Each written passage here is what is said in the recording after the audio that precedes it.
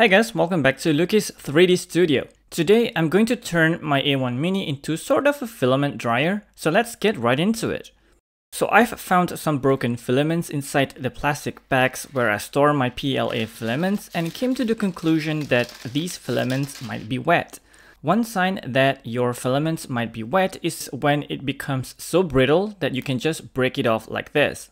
On the other hand, filaments that are not wet are more flexible. You don't want to print with wet filaments because you're going to have stringing problems and other problems that can influence the surface quality of your prints. And I've noticed the stringing of these filaments when I printed this model, so I'm very certain that this eSun filament is wet and needs to be dried. Fortunately, I already have my A1 mini printer with a bed that can be heated, so I'm going to use it to dry my filament. This method isn't a new method and there are a lot of users who used the bed of their printers to dry the filaments. The problem with my A1 mini printer is the bed is pretty small. I mean the 1 kilogram spool is larger than the bed itself. So to use it as a filament dryer, I'm to use two filament boxes and sandwich them together and cut a hole underneath it. That way the box can hold the filaments and the opening will let the hot air to rise and heat up the filament. Why do I need two boxes?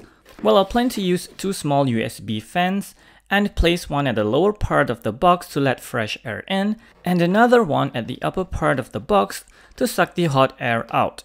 Now, I could also print the whole box in polycarbonate which is resistant to high temperatures, but I only have an A1 mini and A1 mini has a small print volume and I can't print polycarbonate with it which is also a perfect time to talk to you about our sponsor for today's video, PCBWay. If you have a 3D printer that can't print specific materials or has a small print volume, or if you don't have a 3D printer at all, you can get PCBWay to print it for you. PCBWay offers 3D printing services and you can get them to print in any material like resin, nylon, TPU, PC, ASA, or even metal like titanium. Just upload your model to PCBWay, specify the quantity, choose your materials and so on, and hit submit request to get your quote.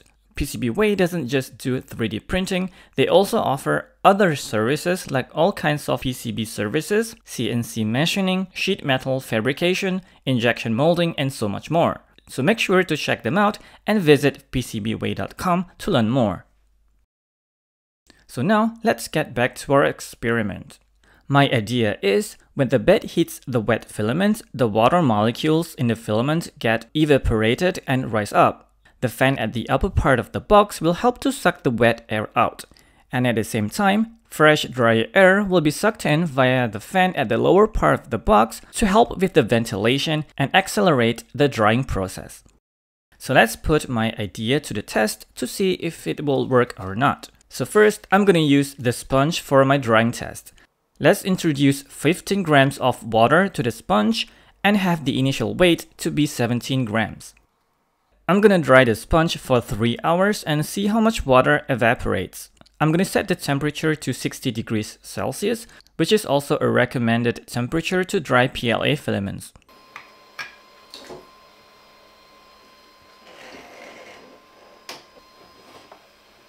Let's turn the fans on and wait the sponge each hour.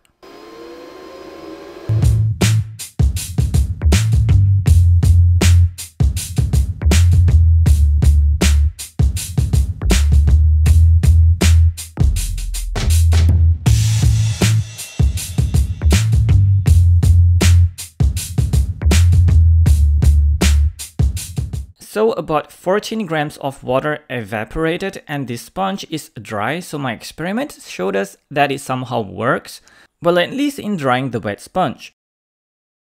Now let's use this setup to dry our filament. Before drying, let's print the string test model by Hakko85 so we can compare it with the model printed with the same filament after drying later. As you can see, we have a stringing problem here. I printed two other models with two different filaments and they definitely look better than my eSun filament. I expected this to be worse, but I guess the super wet part of the filament already broke off. So let's weigh the spool and take note of its initial weight. Now I'm gonna set the temperature to 60 degrees Celsius and dry it for 10 hours.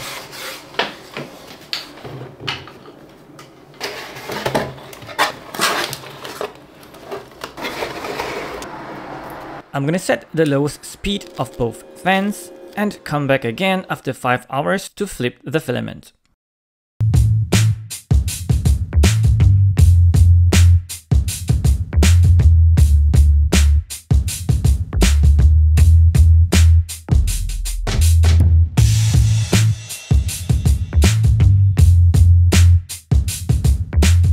So it has been 10 hours, so let's take out the filaments and weigh it.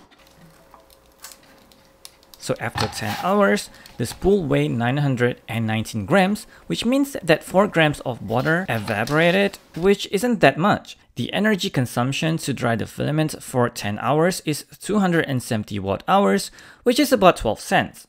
Now let's load the filament and print the stringing test model. This print doesn't have a lot of stringing, and compared to the previous print, it is certainly better. Bending the filament also doesn't break it, so I can safely assume that the filament is dried to a certain extent.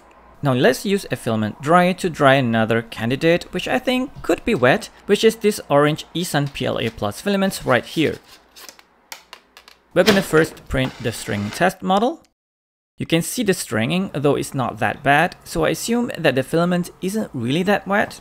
But let's weigh the filament and dry it anyway.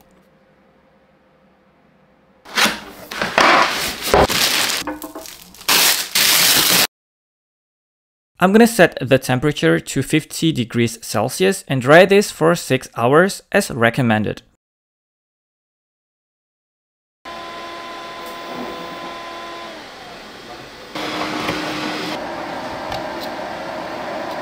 So about 5 grams of water evaporated. Now let's print the stringing test model.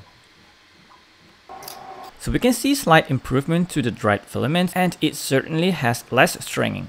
So the dry consumed about 22 watt hours per hour, which is slightly less than the energy consumed by our A1 Mini per hour. In those 6 hours, it consumed 137 watt hours, which is about 5 cents. So what I can conclude from the experiment is both method works. However, if I were you, I would invest 40 to $70 in a dedicated filament dryer. I would only use my printer to dry filaments in case of emergency, like if the filament dryer stopped working or something. Just a short disclaimer, this video is meant only for testing purposes. Bambu Lab doesn't recommend that you use the A1 Mini or even the A1 to dry your filaments. So please don't try this with your A1 printers. So I hope you enjoyed the video and tell me in the comments which method do you use to dry your filaments and if you have a filament dryer, which one do you recommend? I would also appreciate it if you would leave a like to help the channel out and subscribe to the channel if you haven't. And as always, I'll see you guys in the next one.